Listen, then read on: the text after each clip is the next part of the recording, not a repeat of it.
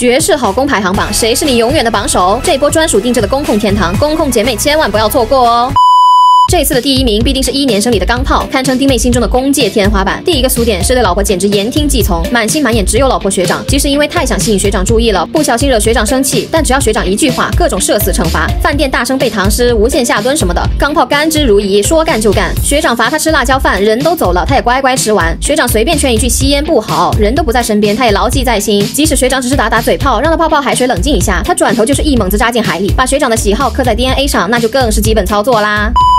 第二个点也是最可贵的一点，就是钢炮绝不搞冷战，就算有误会，也会第一时间解决。第一季时，暗恋的心意被学长知道后，即使自己发的消息都被已读不回，被学长各种回避，他也还是想要当面解释清楚。第二季宠妻力度更大，宁可牺牲一只手臂，也想要获得解释的机会。如果让老婆难过太久，那就是我的错，也绝不允许老婆自己之间的绝美爱情掺杂一点点误会。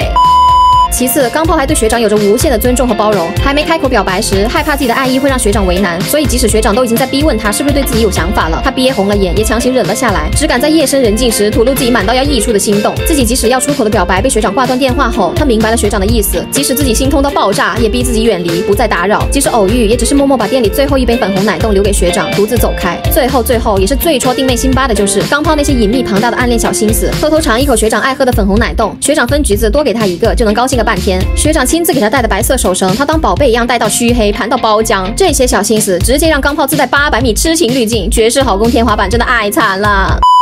第二位呢，就是永远的第一名里的暗恋天花板高士德啦。儿时小易的一句安慰，他念了整整十五年，在他心里，小易就是自己的救赎。从小努力次次考第一，就是为了引起小易的注意。当他看到小易因为妹子伤心，以为他要做傻事时，会立马跳下去救人。其实小易疯狂输出骂人，想被揍吗？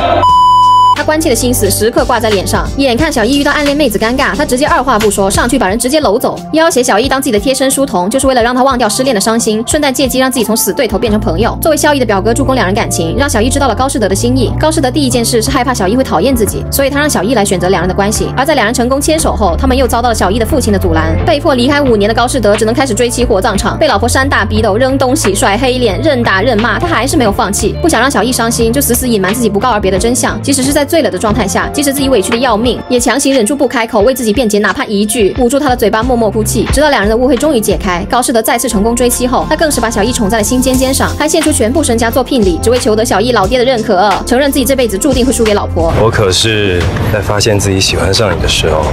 就把整个人生都输给你。嗨，他输给你，你输给他，我输给你们，行了吧？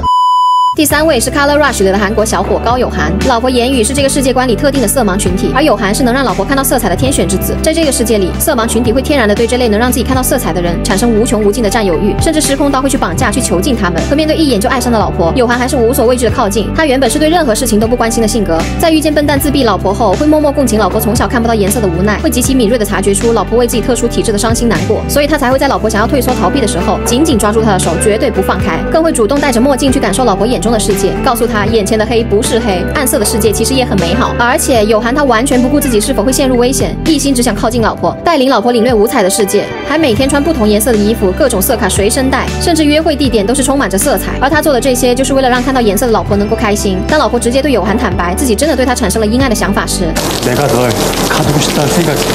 有涵表示要命干嘛？要自由干嘛？我要老婆，直接坐等老婆来绑自己。看到老婆克制自己没有行动，还为了不伤害有涵，打算自我了结。有涵果断抛下了一切来找老婆私奔。试问这样的深情专一老公，谁能不爱？好啦，今天就先盘到这里。当然，绝世好公千千万，每一位都有自己不同的魅力，所以姐妹们可以尽情在评论区里安利你们心目中的好老公哦。